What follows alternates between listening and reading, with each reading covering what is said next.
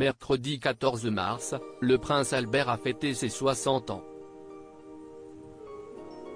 Pour l'occasion, ses proches et lui-même se sont confiés dans l'ouvrage Albert II de Monaco, L'homme et le prince, conversation avec Isabelle River et Peter Michelbank. Un petit trésor familial qui regorge d'anecdotes dévoilées par les membres de sa famille. A commencer par ses sœurs, dont Caroline son aînée de 14 mois qui est revenue sur leur relation lorsqu'il était enfant.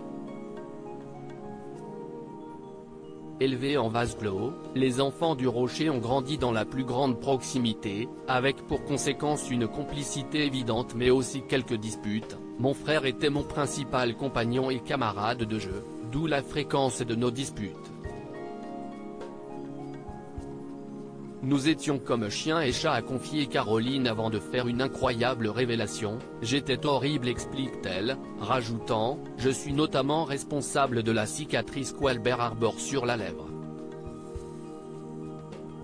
Une petite cicatrice, visible à l'œil nu que les plus observateurs auront déjà observé.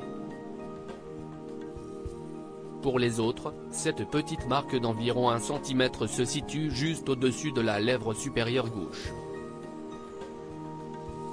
pour autant impossible d'en savoir plus sur les circonstances exactes de ce qui a pu provoquer une telle blessure. Seule certitude, le prince Albert lorsqu'il était petit faisait preuve d'une grande sagesse, à l'inverse de sa sœur, un brin plus coquine, quand il était petit, je reconnais que j'étais parfois agacé par son côté.